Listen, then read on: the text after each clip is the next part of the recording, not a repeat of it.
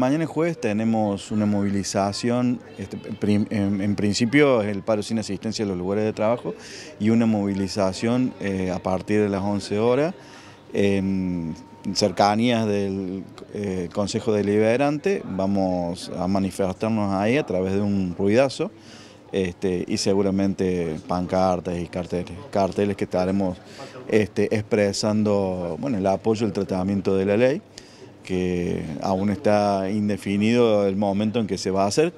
Creemos y esperamos que sea mañana jueves como originalmente se consideró.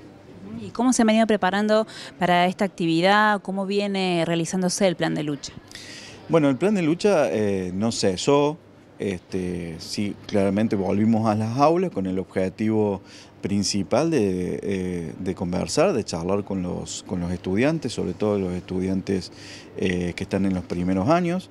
Eh, hemos tenido recorrido por distintas aulas masivas, de, este, con, claramente con el apoyo de los docentes que están a cargo de esas, de esas clases, charlando con los estudiantes sobre la realidad presupuestaria, la realidad salarial de los trabajadores de la universidad.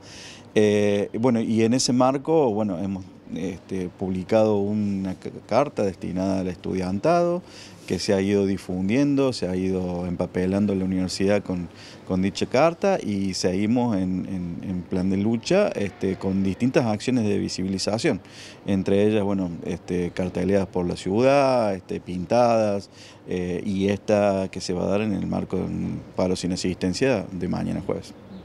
No se ha confirmado el tratamiento de la ley, como nos mencionaba recién, pero ¿cuál es la expectativa? ¿Cuál es el panorama que ustedes visualizan?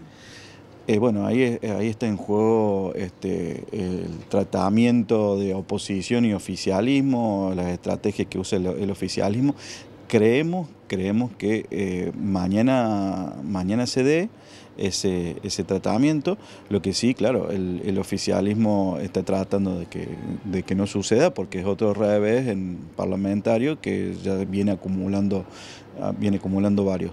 Eh, pero bueno, esperamos que, que se dé mañana. Si no se da mañana es una jornada de protesta para este, evidenciar la falta de ese tratamiento y si no se da mañana será la próxima semana en alguno de los días este, previstos. ¿no?